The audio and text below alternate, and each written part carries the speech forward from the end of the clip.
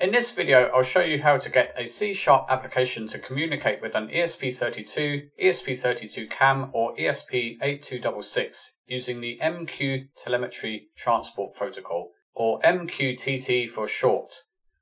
This is a lightweight Internet of Things protocol and it's supported by both C-sharp and the ESP32.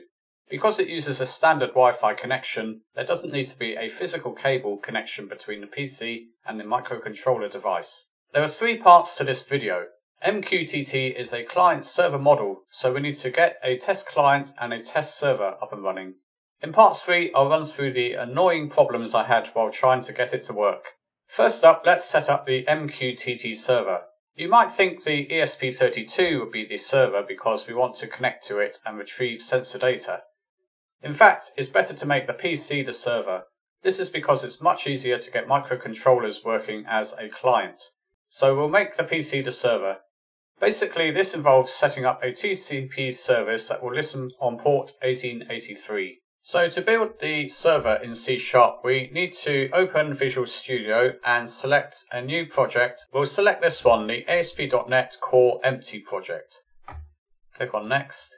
So give the project a name, click on Next, and we'll use .NET 8, and let's create it. So this is our empty web application. So now we need to right click on the project and go to Manage NuGet Packages and click on browse and we need to search for MQTT. Right, so the one we need is this one. There should be a .NET Core one. So we need to install this one, MQTT net.asp.NET Core, and it's the one with the red icon. So I'll install that one. It does also need the regular MQTT net package as well, but it should have installed that one as well. And I've now got an update where it puts it in as a transitive package. So this depends on this, so it will install them both. The next task is to go to the MQTT net GitHub repository, and I've linked to this in the description below. So you need to go to code and then download zip. So when you've unzipped the file, you need to go into MQTT Master and then the samples directory, and then there is a server directory within that. And the file we want is the server ASP.NET samples here. It's not immediately obvious, but this does actually contain .NET Core code. So if you open this in a text editor, all you have to do here is select all, copy this code, so we'll paste it into a new class file. So right click on the project, go to add class. We'll call it MQTT server.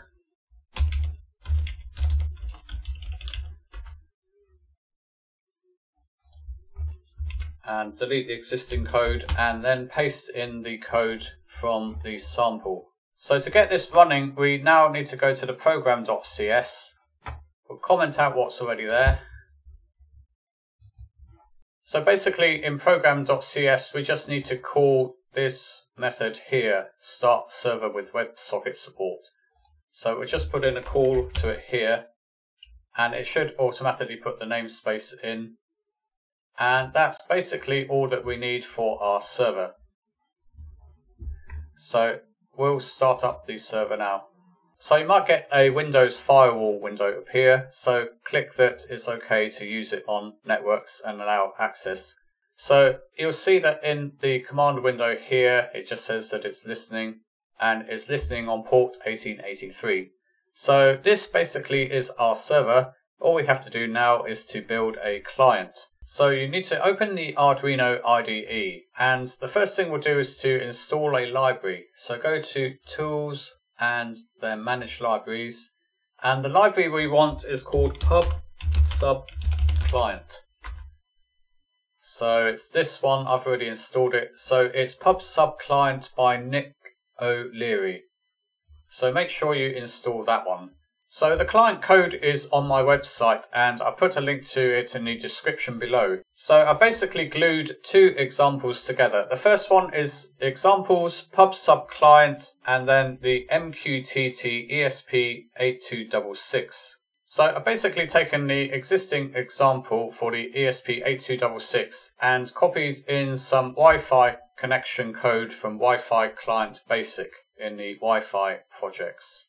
So to get this working, you basically need to download it from my website. In the SSID here, you need to put the network ID of your own Wi-Fi network.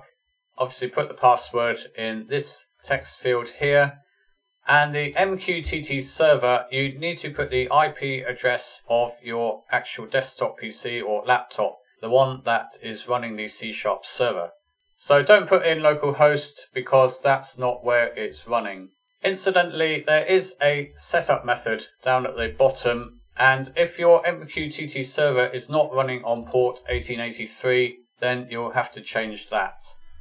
So before I upload the sketch and test it out, I'll just put a breakpoint into the onClientConnected method in the server code. So if the ESP32 connects, then it should hit this breakpoint here.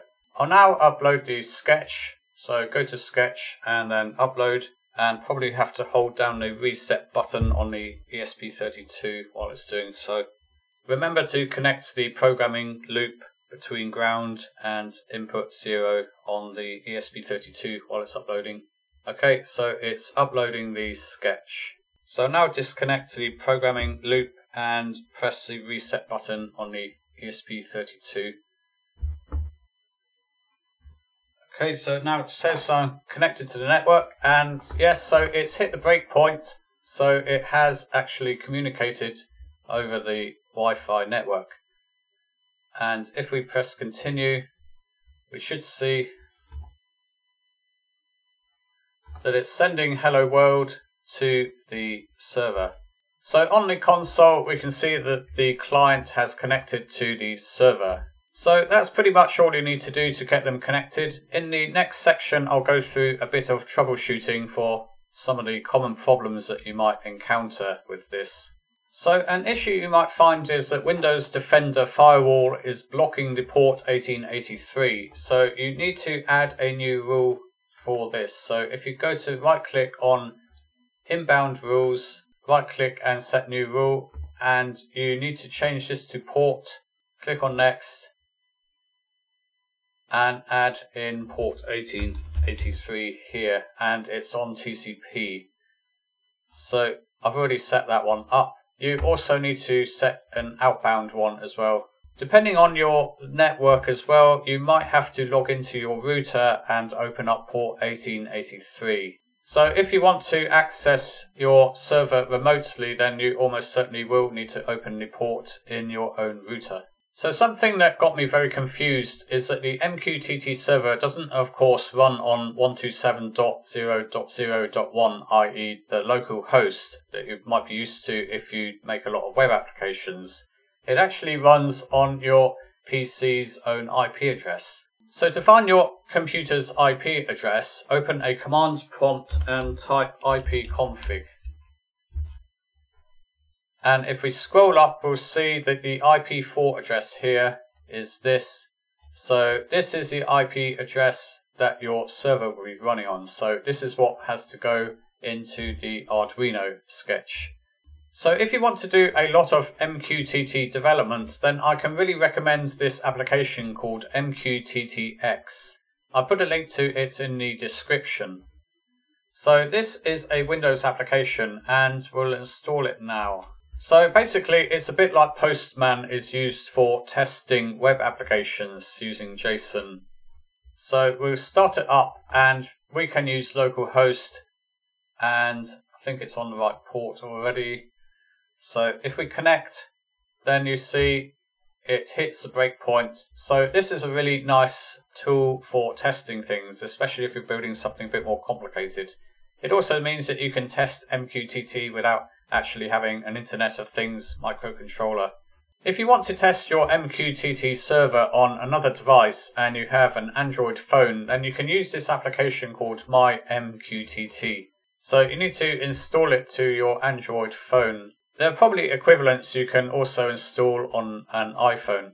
So that's basically all you need to do to get C Sharp connected up to Internet of Things devices.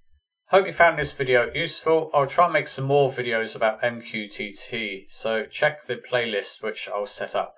Thanks for watching.